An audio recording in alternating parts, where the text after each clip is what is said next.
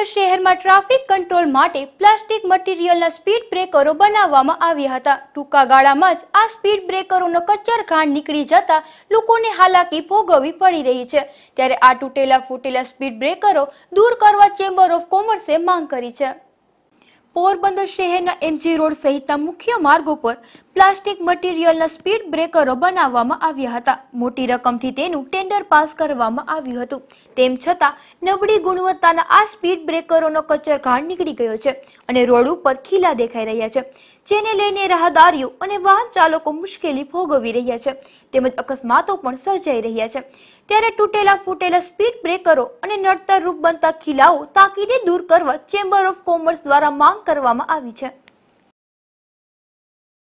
હું Jigneshbhai Kariya, Porbandar chamber of કોમર્સના પ્રમુખ તરીકે જણાવું છું કે હાલ પોરબંદરમાં મુખ્ય શહેરો છે, મુખ્ય- રસ્તા જે છે શહેરના. એ રસ્તા ઉપર નગરપાલિકા દ્વારા સ્પીડ બ્રેકર જે પ્લાસ્ટિકના નાખવામાં આવેલા છે, તે પ્લાસ્ટિકના સ્પીડ બ્રેકર તૂટી ગયા છે. તૂટી ગયા છે એનો કોઈ વાંધો નથી, પણ તે પ્લાસ્ટિકના જ્યારે સ્પીડ બ્રેકર લગાવવામાં લગાવવામાં આવેલા હોય, ત્યારે એના ખીલા લગાવે છે. એ ખીલા પણ હજી નગરપાલિકા દ્વારા કાઢવામાં નથી આવ્યા. તો વેપારીઓની અને આમ જનતાની માગણી એવી છે ચેમ્બર ઓફ કોર્સમાં કે ભાઈ આ ખીલા કઢાવો, નતર ખીલાથી વાહનોમાં પંચર પડે છે, ક્યારેક વાહનો સ્લીપ થઈ જવાની બીક લાગે અને વોકિંગમાં કોઈ પણ સવારે જતું હોય તો એના પગમાં ખીલા લાગે છે. તો નગરપાલિકાના ચીફ ઓફિસર સાહેબને અમે આ બાબતની રજૂઆત કરી છે અને તાત્કાલિક આ ધોરણે કામ કરી અને જે કપલ તકલીફ છે એ પૂરી કરવી જોઈએ એવી અમારી માંગણી છે.